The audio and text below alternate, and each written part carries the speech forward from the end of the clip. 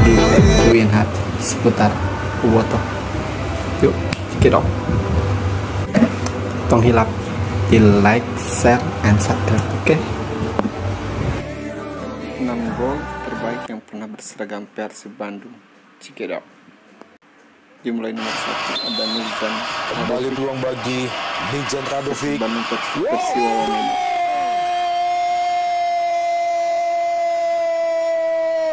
Luar biasa Mijan Radovic mampu mengeksekusi dari Milian Radovic dengan inside footnya curve yang sangat-sangat baik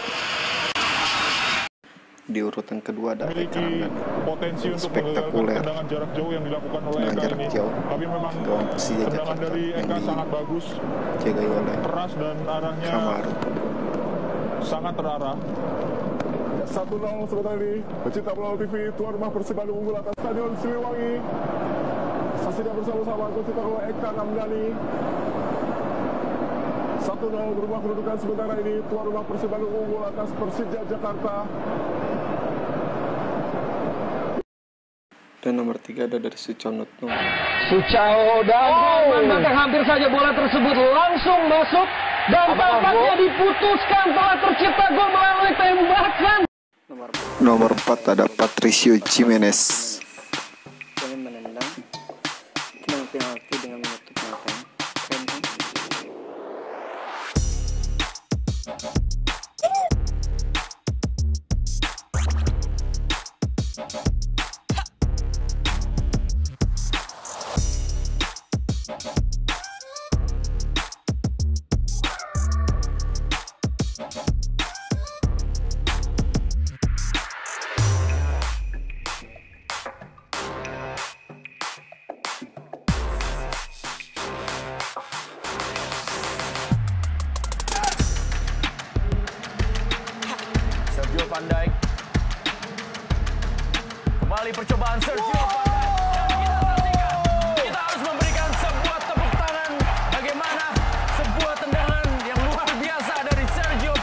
Kali lagi dan saya harus bilang dari jarak yang sangat jauh. Bam! Gol yang sangat berkelas kita lihat.